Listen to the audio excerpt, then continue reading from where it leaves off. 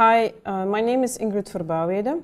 I'm from the COSIC research group at KU Leuven in Belgium. And today I will introduce to you the topic of how security adds an extra design dimension to IC design. So this is the outline of my presentation. Um, I first introduce to you why security is important in IC design. I'll give you some examples. It goes from IoT all the way up to the clouds or servers. It adds an extra design dimension. So what's important there is I'll introduce to you the what I call the attacker model.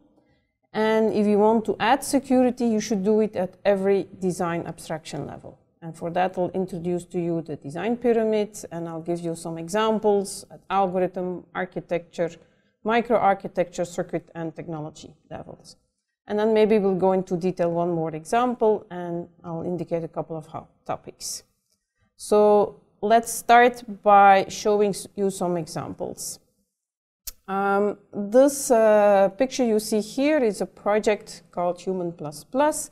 Uh, it's a typical example of an IoT or a connected device in the sense that you're going to have, will be wearing in the future multiple sensors. These sensors might talk to um, your cell phone, and your cell phone might be your local server, and then all your data will probably move on the network to your doctor, to the hospital, maybe to your insurance company. In general, anything we want to make smart, whether it's a smart meter or a smart home or smart city, anything we make smart and connected will need some form of security. And this sits in medical devices, automotive, uh, smart electricity, and IoT in general. The problem is that we see a bunch of um, uh, attacks appearing. Here is one from the newspapers which said that there was a recall for uh, hacking prone pacemakers. Another one which hit the BBC News is that they found some fatal flaws, flaws in medical implants.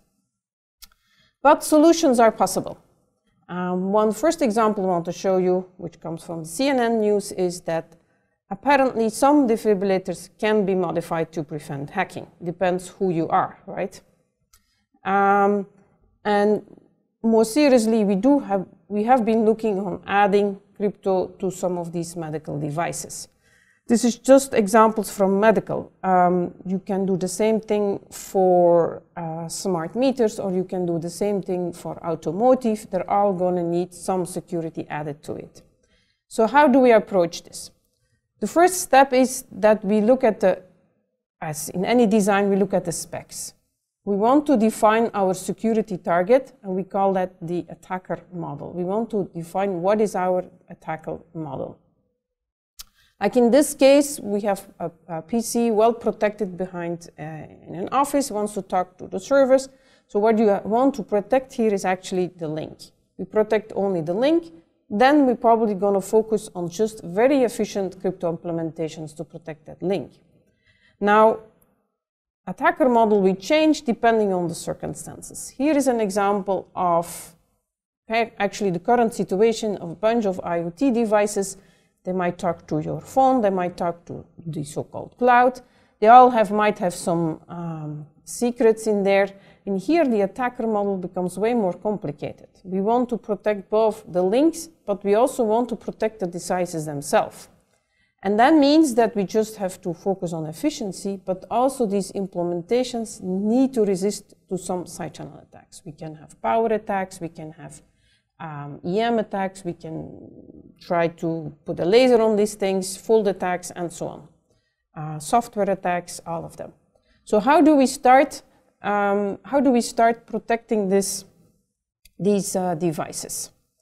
Um, and that's what we call the, in the design approach step two, we have to consider security, and that's very important at every design abstraction layer. And we call that the design pyramid. Um, and if you want to focus on efficiency, efficiency only, we still do it at every design abstraction layer. We start at the system level. We might choose some asymmetric protocols um, that maybe put the burden of the calculations on the server and maybe the small device doesn't need that many uh, calculations, like in the case, for instance, of a pacemaker talking to a programmer. We also have to optimize at the algorithm level. We want to identify the right crypto building blocks. Uh, we want to optimize at architecture level. We do some security partitioning. We decide what goes in hardware, what goes in software, um, which building blocks we will need. We have a uh, list of building blocks here, for instance, hash functions, public key, secret key, random number, uh, maybe even some PUFs. We go down at the microarchitecture, and there often it's about extremely efficient finite field arithmetic. That's the optimizations we want to do there. And at circuit level, we might have to optimize. We want to add random numbers. We want to add PUFs, physically unclonable functions, secure storage, and so on. These, each of these components need to be addressed while focusing on efficiency.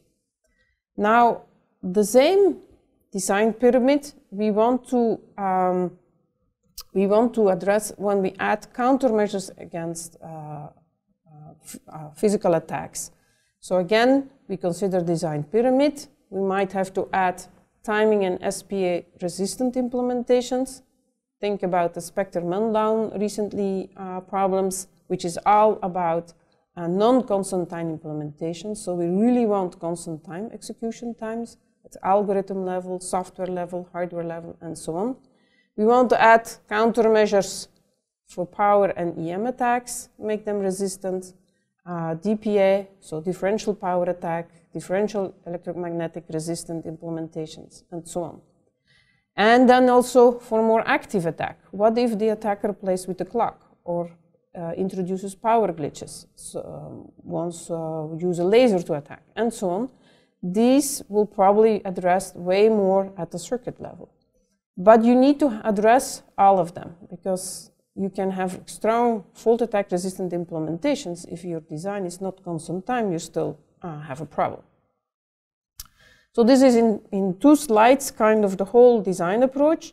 Um, we want to illustrate this now with a simple example. And the example I'm using is how to implement a low power, low energy public key crypto engine that might fit in an IoT device, in an RFID device, and so on. So it should be suitable for SMARM, RFIDs, sensor nodes, medical devices. Um, it should have low power consumption, maybe for instance for medical implants, you don't want the temperature to increase too much. Um, should have low energy consumption. Uh, pacemakers need a lifetime of at least uh, 10 years. And, which is kind of the challenges, uh, challenge here, uh, we need a suitable set of countermeasures. So this is one of these layouts, but I will go more detail next. So how, as an example, how we approach this thing, we kind of split. You want to, the security uh, critical path to be as small as possible. So contain the trusted part because that's the one that needs protection. And in this case, it's the elliptic curve uh, coprocessor so we have a general purpose 8-bit microcontroller, might not need that much of security, but we have elliptic curve coprocessor, which really needs its security. So it's, you can call this a hardware-software co-design. Um, we need in this case um, random number generator, very important topic, maybe secure register file. You can also see here the optimizations which are done at the arithmetic level, as we need here a data path for at least 330 bits, um, which is unusual in uh, normal uh, arithmetic, I would say. So this is kind of more details on the actual processor, uh, which has a set of dedicated register, very wide um, instruction word, and further details. So that's my layout. And what you can see on your layout, that it's a combination of standard cells here and full custom. And the full custom part is there, the regular array is there to introduce channel resistance, uh, to have balanced uh, load lines and so on. What's important for security is that, again, you measure not just the efficiency, you also measure the security uh, results. Um, like for this particular example, we could do this in 14,000 gates, and what's important for elliptic curve point multiplications is the time you need for one of these point multiplications. In this case, it's close to 80,000 clock cycles. It's at this low voltage it, and a low clock speed, it's about 50 microwatt. But what's also important, it consumes only 5 microjoule per point multiplication. Now, besides efficiency, we had to add a set of security uh, countermeasures. So we made sure that the implementation is timing and simple power attack resistant. Um, for DPA resistance, we add coordinate randomization, hence also the need to have a random number generator. And the whole evaluation is done in a typical uh, measurement board, which is called a Sasebo. Uh, these are special boards that help you to do DPA um, attack evaluation. So typically this is the situation you get. Um, you have a you have a chip. You have you do the os oscilloscope. You collect a large set of um, traces, and you probably then do some statistical analysis um, with MATLAB. MATLAB is extremely useful to, to, to side channel evaluations. So this is one short example. Um, one slide, I want to indicate a couple of hot topics which are going on now. And these hot topics in hardware security, they're again at every design abstraction layer. We have some hot topics at algorithm level. So really hot these days is trying to implement what's called post-quantum secure algorithms. Recently, um, a NIST competition has started. First set of algorithms have been submitted. So now we need to evaluate them for um, efficiency implementations.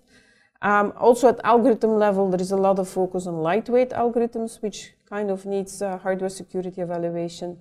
At architecture level, hot topic these days is to add trust to your competition to make sure that your implementations are um, um, have some secure uh, or trusted um, component. Um, examples of that are, for instance, the Intel SGX approach or the Sancus approach of KU Leuven. At crypto level in protection, um, we see a lot of work going on at masking, uh, masking techniques to make sure that your implementations are side channel secure. And at circuit level, important is, for instance, there's a lot of research going on PUFs for secure key storage or random number generators, including online tests, because these circuits also need protections against manipulation. Brings me to my last slide, my conclusion. I hope in this short talk I gave you some insight on how to do design for security.